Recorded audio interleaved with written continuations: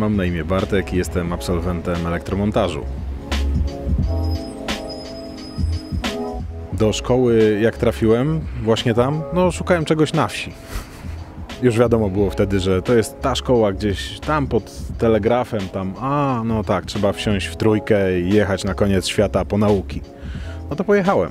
I dzisiaj właśnie, z okazji jubileuszu 50-lecia szkoły, chciałem podzielić się z Wami 10 punktami, które uważam za bardzo ważne, jeśli chodzi o wybór właśnie tej szkoły. Ta szkoła nauczyła mnie, że to technologia ma służyć nam, a nie my technologii. Tutaj nauczyłem się postawy patriotycznej, inicjatywy obywatelskiej i poszanowania dla demokracji, nawet gdy nie jest ona nam w smak. I tego tekstu nikt mi nie napisał, naprawdę tak było. W tej szkole nauczyłem się być kreatywny i komunikatywny, co przełożyło się później na śmiałość w nawiązywaniu kontaktów. Rzecznik telewizji, prezydent miasta, prezydent Polski czy menadżer z Hollywood. Bez problemu. Ale najbardziej jestem dumny z tego, że udało mi się poprowadzić dialog e, ze świętej pamięci Stanisławem Lemem, który zgodził się potem być zacytowany w mojej pracy na studiach.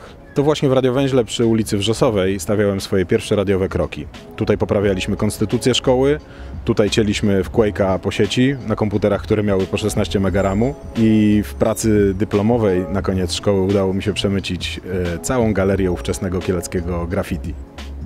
Wybór praktyki zawodowej był bardzo ważnym momentem w szkole. Wiadomo było, że można wybrać jakąś praktykę w urzędzie miasta czy gdzieś, gdzie pani Krysia z tapirem na głowie podstempluje wszystko na legalu.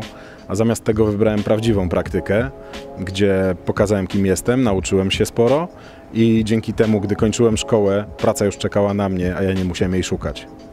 To właśnie w tej szkole poznałem ludzi, na których mogłem liczyć. Tak było podczas nielegalnego aresztowania, kiedy koledzy z klasy przyszli mnie odbić pod komisariat. I tak jest do dzisiaj, gdy mimo 25 lat od skończenia szkoły, to jest ćwierć wieku, nadal utrzymujemy kontakty ze sobą i wiem, że gdy szykuje się spotkanie, to trzeba potem sobie zaklepać przynajmniej dwa dni wolnego na wyzdrowienie. Tutaj spotkałem nauczycieli, którzy dali mi wiedzę dobrej jakości oraz dostrzegli, w czym jestem dobry i pozwolili to rozwinąć. To byli ludzie, którzy nie mówili nam, co mamy myśleć, tylko pytali, co myślimy i kazali bronić swoich idei.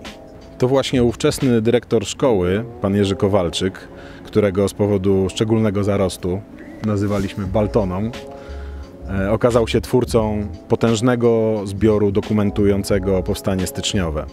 Zbioru, z którego później korzystałem zawodowo, e, redagując różne rzeczy w pracy. To właśnie w elektromontażu dowiedziałem się, ile wraca się w zimę w pikolakach po oblodzonym chodniku oraz ile potem wzrasta się szczęka. To się wytnie. I to właśnie w szkole talentów nauczyłem się, jak zadzwonić z automatu wrzutowego, gdy nie ma się co wrzucić. A? To w tej szkole poznałem DJ-a Hansa ze wzgórza Japaczy. To w tej szkole Simet z Broken Glass uczył tańczyć. E, to w tej szkole cieszyłem się, gdy wychodziły nowe epki i płyty Beastie Boys i jechało się przegubowym karusem, zwykle na kole, e, z Walkmanem i cieszyło się nowym Cypress Hillem.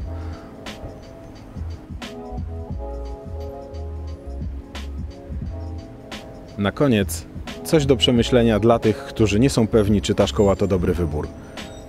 Wygooglajcie sobie, ile zarabia na początek technician w Unii Europejskiej.